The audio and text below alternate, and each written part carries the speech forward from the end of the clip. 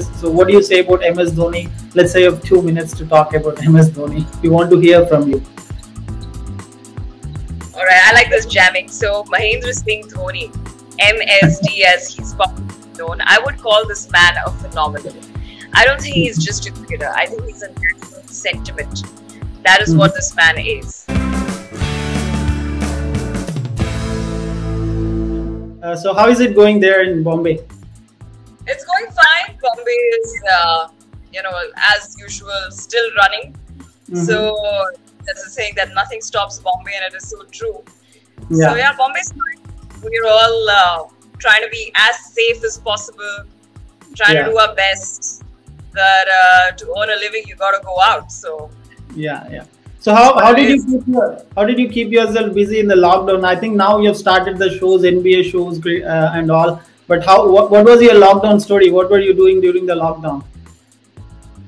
I was doing a lot of Instagram lives, uh, connecting with uh, people that I worked with. Uh, Yeah. Did a lot of uh, family bonding, connected with you know my cousins that I had not kept in touch with. Spent time with uh, friends, catching up on phone and you know Zoom calls and all of that. And I also hosted a lot of events online. Uh, Yeah. Did that. Sports. I hosted a couple of shows where we were interviewing David Warner. It was called Sony 10 Pit Stop. So did Yeah. that. So yeah, lockdown uh, really, really worked hard to keep myself busy. so how are you keeping busy now? What's your routine now? I think it's been a little bit easy now in India. I guess the lockdown and everybody is getting back to normal to their works and all. So how is how is it going now with you? It's fine. It's it's still not there, but it's heating up. NBA shows have started, so you know, going uh, to host that. So that's that. But other than that, uh, it's still you're at home and you know trying to be as safe as possible. it's just, and I think this Yeah. entire year is going to be that. Yeah, I think mostly it's going to be the same same the entire year. So are you excited for the IPL start of IPL? I am. Like every Indian. I am just disappointed that it's not happening in India because it Yeah. would be so much easy to cash match.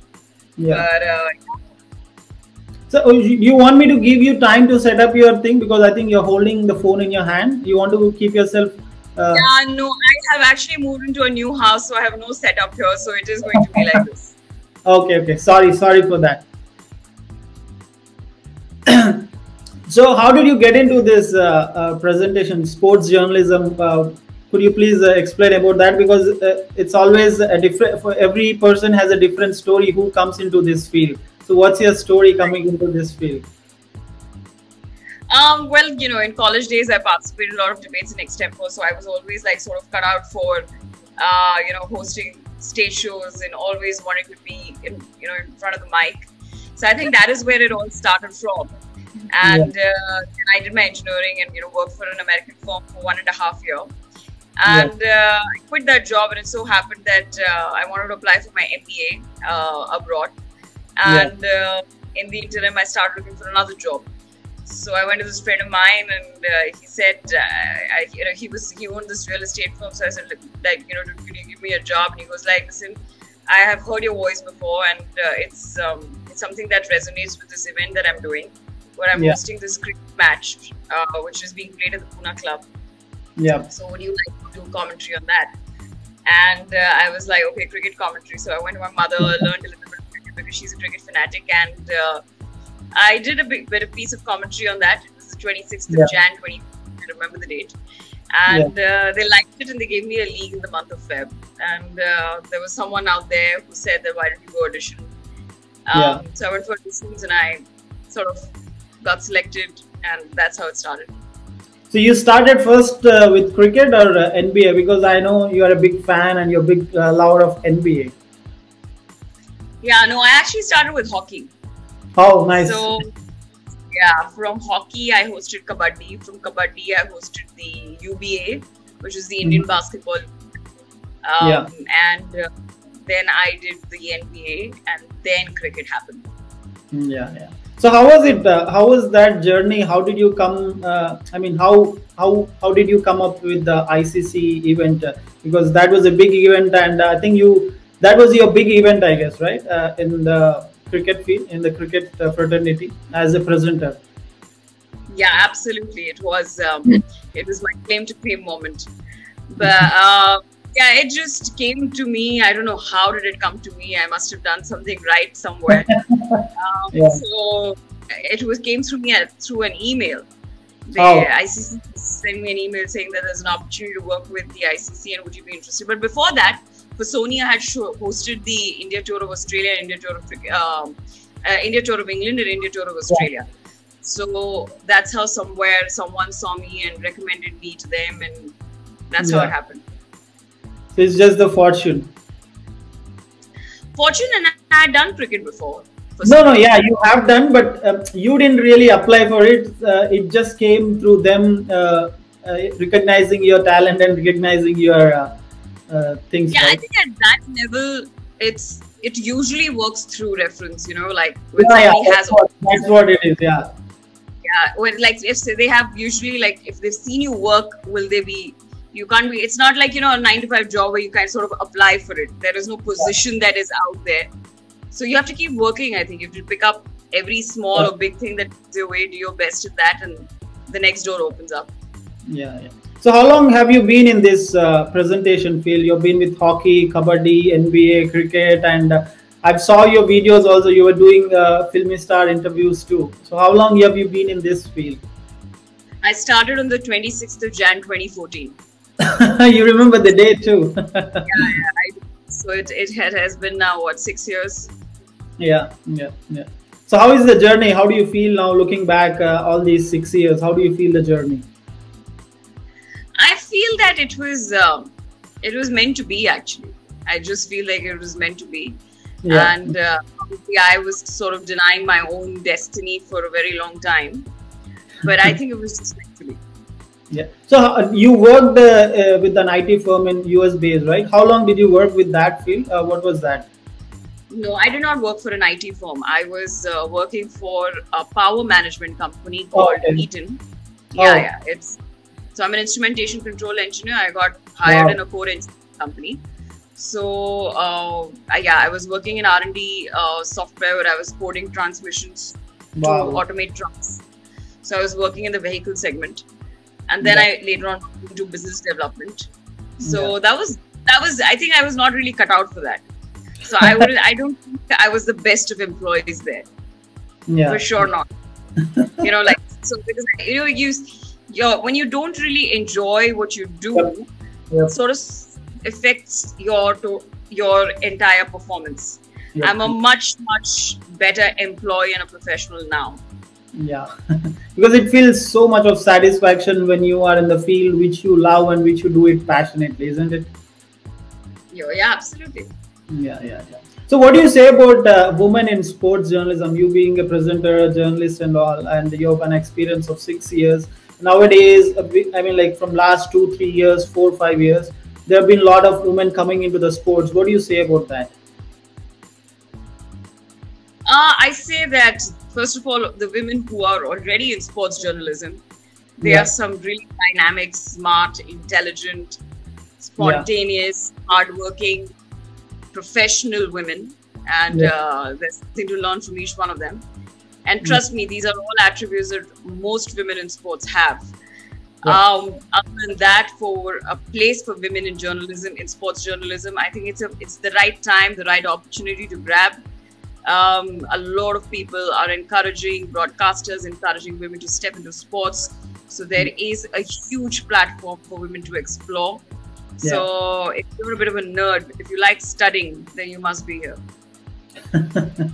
so how do you prepare yourself? Because you do all NBA, cricket, hockey, kabaddi, and how do you manage all those things? Because it's not something you can just go and randomly do it, right? You have to be aware of the rules, you have to be aware of the players, records, and all those. How do you keep up yourself with multiple sports? You just study. You study the game. You read articles. Uh, you follow the handles. You know, social media is the best place to follow. Like, what is people's opinion about it? You know, um, you follow the players of various particular various sports, and you see what they up to. Because as a anchor, you're supposed to know the player much better than I believe, the rules of the game. You yeah. know, so um, that you you do all of that and you just do your research. That's how you can learn a sport. Yeah. If you've not played. so, are you a sports person in your childhood? Were you uh, playing any sport back back in childhood or in college days? I played a lot of badminton. My mother was a state level badminton player, Wow. but I played uh, a little bit of badminton. I was not very good at it, but I uh, did a lot of running. So I ran for cross country, yeah, marathons. So that I did. But Yeah. I have not really been a sports person, but I have been more of an orator all my life. So Wow. I have been a very good debater. I have been a very good elocution. Yeah. So I think that is where anchoring sort of steps in for me. Yep. Uh, sports happened because it was it came to me through my mother. I think. How did this love on uh, basketball had happened? Because basketball is not uh, really that much uh, famous or not in, more into the public, but maybe it is uh, nowadays. It's becoming more, uh, I guess. But how did that happen to you? Well, how did you get the interest on the NBA and all basketball and all? So um, you know. Uh, when UBA came to India, uh, I got the opportunity of working with some people, some really, really good producers and directors. One of my uh, directors was a five-time Emmy Award winner. Wow. So they really knew basketball in the back of the hand, and I got that opportunity. And uh, my my producer Paul Del Pizzo, he sort of trained me into getting to know the game better. And uh, I think Americans were the best people to learn basketball from because they knew that and how. It's like it's like Indians are the best people to learn cricket from, you know. Yes, yes. So, um, yeah, I think that's how I picked it up, and that's how my interest grew. I think UBA is where my interest grew in sport, Yeah. and uh, just passed it on to the NBA. So what which, which sport do you like more? You like NBA, cricket? Which one do you choose? Yeah, I think a lot of people ask me that. There is there is no comparison. Because I saw a few of your shows and uh, you were hosting it so good. The same way you're hosting both the shows, NBA or cricket, whatever it is, you're hosting it with the same intent and with the same energy. So I was little. Uh, I, I just wanted to ask you, like, how are you able to do both these things in the same way? Because for anybody, there will be a love on one thing more than the other thing, right? no, actually, if you're a sports buff yourself, you would Yeah. know that watch sports to appreciate athleticism, to appreciate the sports spirit, to appreciate, you know, the adrenaline that you get in close matches. And I think that you can get in any sport. Unless and until uh, there is a sport that you find like totally boring, you know, Yeah. and I'm not sure what kind of a sport would that be because sport is really entertaining and yeah, especially between cricket and basketball, both of them. If there, Yeah. if there is one one sport which is all about strategy and Yes. uh, there is the other one which is all about speed, uh, godly athleticism, and um, you know dynamic performances. So um, you choose. What would you choose? What would you choose over strategy, over athleticism? I think I choose both. you choose both, yeah. But what's your love? Okay, let's say you get a chance to host NBA and you got a chance to host a cricket show. So which one do you Yeah. prefer? On a day, both the things are happening at the same time. Which one do you prefer? I know it's a little bit tricky. Uh, I'll, I'll make it make it a point. I do both. How can you? Um, Let's say both are happening at the same time. Yeah, so I'll find a way to host both of them. You're so diplomatic. yeah. So how was it? Uh, how was the whole experience? Uh, you working with the legends of the game in the 2019 World Cup. Uh, many legends were there. You were co-hosting with them. You were interviewing them. Former cricketers, present cricketers. How was that? Uh, your experience? How was that journey? Learned a lot. Um, Found uh, even more respect for the game actually, uh, because you know you were interacting with the players firsthand, and you Yep. listened to their stories and their struggles and and how um, they sort of won for the country in situations where it was difficult, and uh, you started appreciating you start appreciating people that you already know of, but now you kind of know them even better. You appreciate them much more. So Yeah. um, I think it was it was newfound respect for the sport, for the players, um, and of course it was um, a, a World Cup to remember. So it was a dream come true. Yeah, yeah. So I'd like to ask more about that uh, uh, World Cup and the cricket because it's been a cricket show. Uh, so how how was that working with uh, the other presenters from uh, different countries which you have not known i guess that was the first time you might have known all the presenters from different countries like pakistan and there might be somebody from afghanistan i guess if not the lady so how is it working with multiple uh, people from different countries different diversities fantastic um, i've always as a person growing up wanted to work uh, with people from different nationalities yeah i think that is truly, uh, I think you truly develop as a professional when you you know you get that opportunity. Um, and having said that, you mentioned Diva Patang from Afghanistan and Zainab Abbas from Pakistan. Both of them are beautiful women in and out. Yeah. Um, Zainab knows the sport like at the back of her hand, so there was so much to learn from her. And yeah. uh, I think you just you just uh, take the professional side and not only was it professional but it was also it also ended up in some great friendship wow. um, you know field so i i really had a very good time and i really miss it yeah. i really no, miss if the, I mean, I unfortunately I couldn't bring uh, Zainab Abbas on this because I was trying to bring both of you on the same show, but the timing and uh, she was a little busy with some other works. That's the reason I couldn't bring her on the same. I thought of bringing both of you on the same uh, show. So you also worked with the Women's T20 World Cup in Australia. Uh, so how was that? How did you feel uh, seeing all those stars? And uh, I mean, cricket is getting better and better uh, in terms of women cricket too.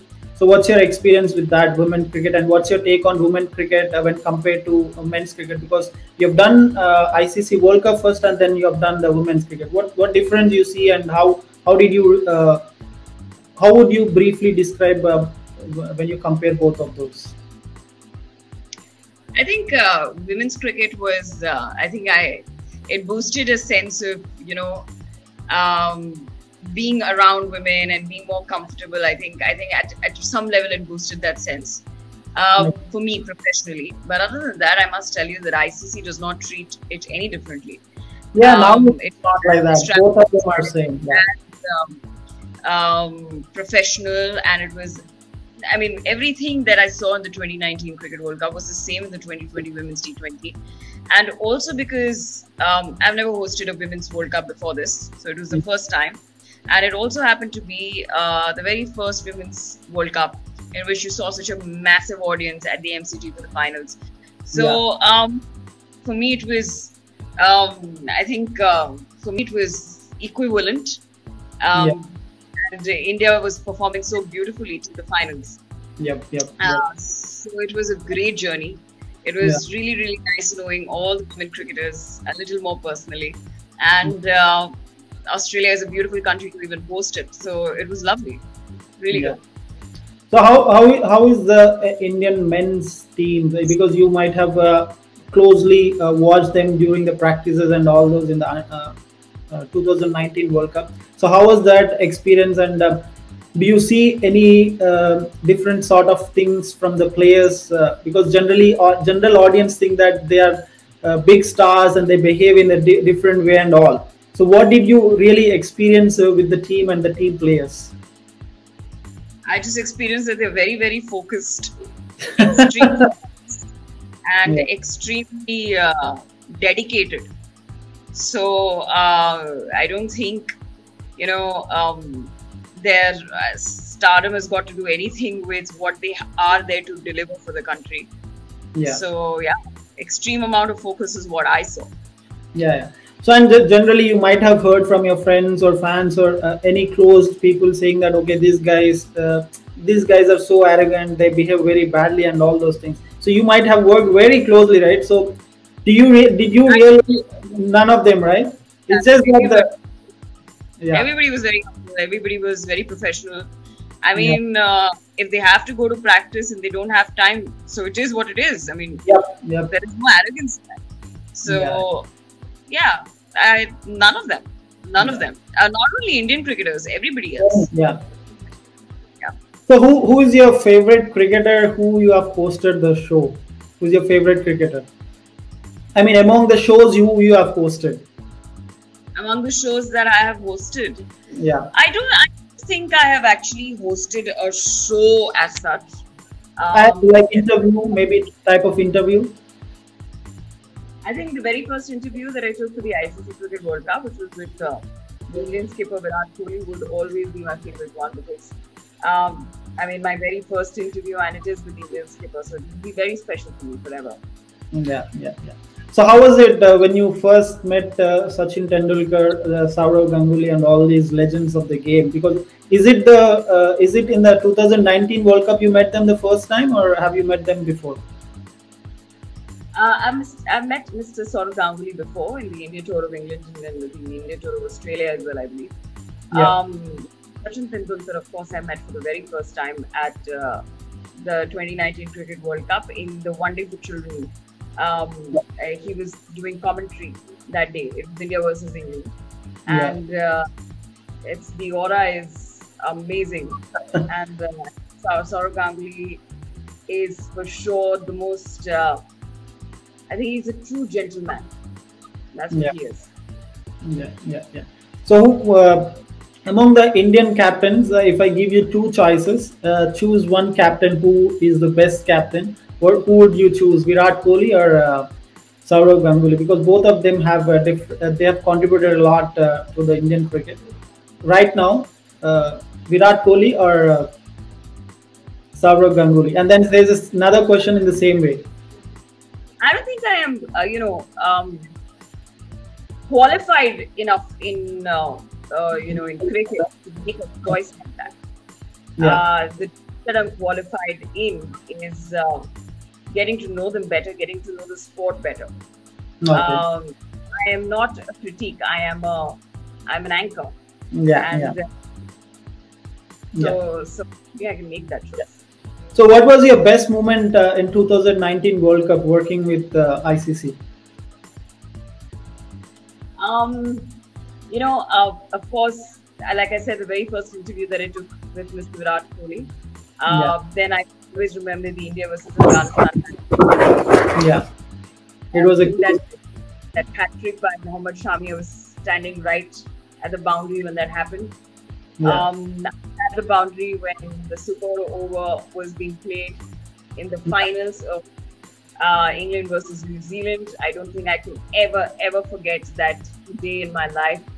Um, I think a break from cricket was wonderful for children when um, got a chance to interact with uh, three UNICEF ambassadors, um, yeah. the playground pundits. I think that was very special. There were many, many, many moments which was very special. I think I think the entire 2019 Cricket World Cup will be my will something. Yeah. So how was it? Uh, I mean, what's a memorable moment uh, in 2020 uh, T20 Women's World Cup? What's a memorable moment there? Oh, plenty. Actually, I got to uh, spend one day uh, with the Indian. Um, I got a chance to spend a day with uh, Jemimah Rodrigues, yeah, uh, with uh, Kriti. So um, I think that that day I will remember because uh, they were doing all these lovely dances, and there were a lot of children out there who was you know, sort of yeah, uh, trying to teach a certain step that had gotten viral on that time. Uh, at that time on social media that she had done with one of the security meeting officers in Australia. So I think I'll remember that day. It was it was a fun day. And yeah. other than that, I remember each and every single match of uh, uh, the Indian cricket team because I hosted all of them. So yeah. uh, it's going to be very special. With the ICC T20 Women's World Cup, I was not only being a digital insider with ICC, but I was also hosting the in stadium yeah. Uh, so I was also the in-stadium MC for yeah. COJO, and uh, that was a lot of fun interacting with the audience and you know listening to your voice in the entire stadium. I think, I think that was special. So, who's your favorite cricketer uh, uh, in women's cricket right now? Any favorite cricketer, women cricketer? I think all of them. All of them are such humble souls, uh, yeah. such friendly souls, and I somehow you know, I, have always studied in a girls' school, girls' college, so I, I, I get along with, uh, you know, I understand, I think, uh, women that way very well. So it was lovely. Yeah. So, who was your uh, childhood favorite cricketer when you were growing up? Did you, did you had any childhood favorite cricketer? Because you must have followed all the sports very closely. Because as you said, you're a sports lover. My entire family was a huge, huge MS Dhoni fan. Mm-hmm. Also because my roots come from Oh, so nice. yeah, I think MSD is one person we all like were of. My mother was crazy behind MSD. Mm-hmm. Um, I think another cricketer that sort of made an impact during my childhood was Ricky Ponting. Ricky Ponting. So uh, Ricky Ponting, yeah, Ricky Ponting was, was one captain that all of us used to be in awe. Yeah. So what do you say about uh, MS Dhoni in one word? Because you being a big fan of MS Dhoni, one word because he has retired from international cricket. What do you say about MS Dhoni in one word? one word for MS Dhoni. Yeah. yeah, we are talking about MS Dhoni. What would you say about uh, uh, if if I give you a minute to talk about MS Dhoni because you said you're a you like debating and you like to talk on the stages. So what do you say about MS Dhoni? Let's say you have two minutes to talk about MS Dhoni. We want to hear from you. All right, I like this jamming. So Mahendra Singh Dhoni, MSD as he's popularly known, I would call this man a phenomenon. I don't think he's just a cricketer. I think he's a national sentiment. That is mm-hmm. what this man is. The only captain, the only Indian captain to win all ICC uh, trophies. Yeah. He has etched his name in the history books, but other than that, we share a special bond with him. Is because also, you know, very recently I tweeted about the fact that when my father used to uh, was asked where you come from, and he had to completely explain the city that he comes from and talk about you know, I come from the city which has a lot of waterfalls, happens to be the capital of A lot of people could not locate Ranchi on the map. I think MSD is one person who's put Ranchi on the global map. And it's uh, it'll be unfair to even say just Ranchi. I think uh, what he's done with Chennai Super Kings and what he's done for the entire country is something that nobody will be able, if, will be able to forget. Um, and not only for what a wonderful cricketer that he is, but also for a what wonderful human being that he is. What a great yeah. leader that he is. There are some people who just know how to win hearts, and I think MSD was just born to do that. Uh, I've not really got an opportunity to have an interview with uh, MS Dhoni ever, but I think if there was one wish, I would. Uh, I think I would. I would ask two wishes. One is, um, uh, you know, getting MSD introduced to my mother. Um, think uh, she's going to go crazy. Uh, I must admit, I'm not as big a fan as my mother is. So she is on the next level. So I think that would be one wish. The second wish would be to probably do a good talk show with MSD. That's so nice. The spontaneity, the words you're using, it's so nice. So when uh, with the context, I would like to ask, what would you say for the people who are really uh, aspiring to become a presenter or a sports journalist, what would you say uh, for them about uh, uh, to get more command on the language? Read a lot, mm-hmm. and every time you read loudly. Okay. The only way. If you know how to listen to yourself, and if you yeah. think you sound good when you listen to your own self, I think you are the best critique of your own self. So always read when I, even when you're reading the newspaper, just read it loudly. Yeah, yeah. So, how was that experience uh, uh, when you were hosting the shows or interviewing the film stars? How was that experience?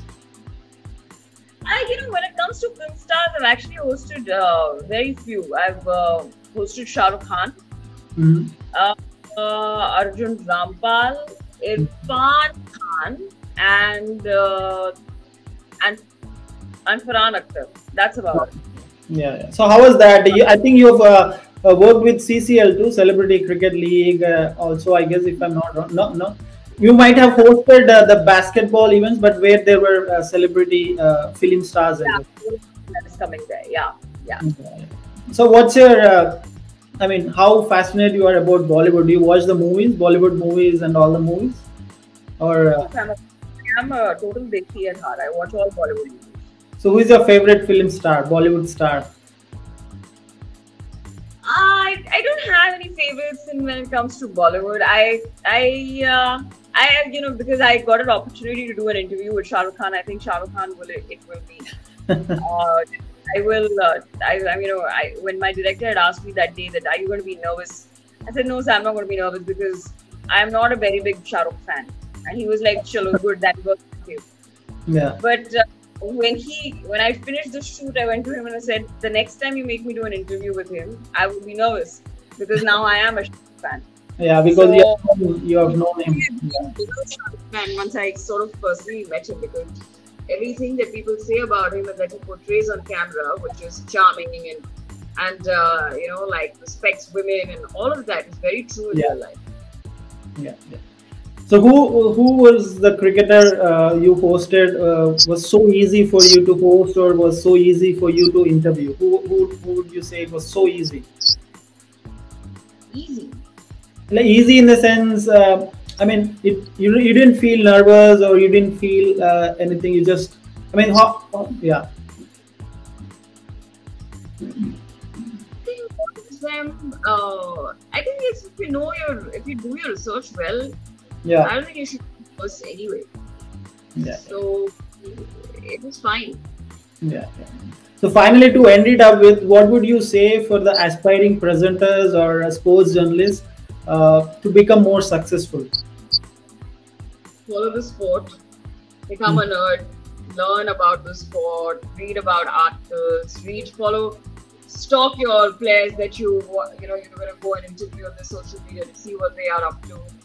Um, I think reading and doing your research uh, is the key because content is king in sport. Yeah, yeah. It was nice talking to you, Ridhima. Thank you very much for giving your time. You, I think, because you've been so busy from morning hosting the shows and given us the time. It was pleasure hosting you. Thank you very much. It was, it was a pleasure too. Thank you. All the best. Thank you.